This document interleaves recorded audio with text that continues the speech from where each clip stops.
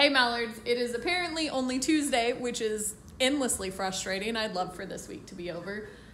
But uh, Athena is here and she brought her baggage humans. Yep. And she's yeah, look at how excited they are to have the puppy. Trying to beg for food. She is. Apparently, she doesn't know that human food is delicious, except that she totally knows because she's a dog with a nose. She knows. She, yeah, yeah, she knows. Uh, I'm going to allow Megan to explain to you what we're doing tonight. Uh, we are watching season four of a show called The Apartments. We have not seen any other season because there's only season four on Netflix. And season four happens to be Celebrity Edition. And and what is the apartments? Oh, uh, I'm so glad you asked, Mallory. It's a reality show that is essentially trading spaces. Um, they're like taking like very plain villas and turning them into, I don't know, Disasters. They're supposed to be turning them into something chic and design worthy. They do an like a room an episode, and there were four teams, uh, and then there were quickly only three teams. So there is one villa in this complex with only one finished room, and that room is a disaster.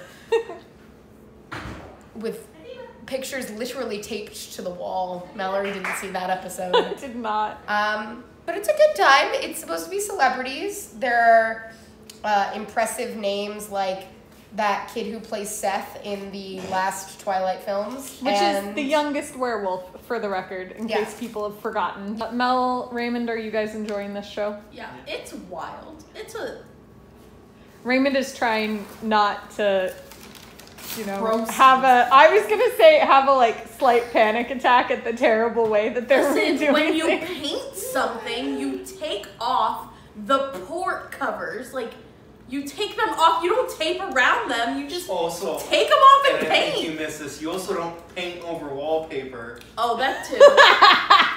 yeah, you did miss that. Amanda, are you enjoying this? Yeah. Good. Whose idea was this show? How did this show happen? So how this show happened is Megan and I finished Glow, and we were like, we're having a day, so we would like to continue just sitting here and watching television. So I was scrolling through the Facebook recommended reality competition shows. and we love interior design shows. yeah, we really like Or interior like design competition niche shows. competition shows in general. Mhm. And so I was like, hey, how about this interior design show? And Megan said, sure. So we like clicked on it. We had to rewatch the four minute intro to what this show was because it's edited together in such a like choppy, poorly done way. The whole show. Um, like there was an episode where in episode three they referenced something that happened in episode two that had been edited out, so they had to give us a flashback. yes. Um, it's weird, but the intro looked like a spy movie, and uh, I it think the explained the premise of the show in a way that was not clear. I came in for episode three, right? Well, I guess the end, the the elimination Yeah. of ep- like the end of episode three. yeah. So I came in at the end of episode three, and I swear that there had already been at least ten episodes worth of drama, judging from like how amped up those characters were. Also, the things I've learned about this show is that they have a sledgehammer that they barely use. That's true. We have now watched, well, and by we I mean mostly them, have now watched six episodes of this show.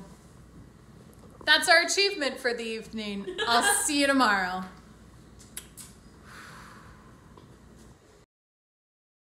I tried to get Athena to kiss and she just bit me.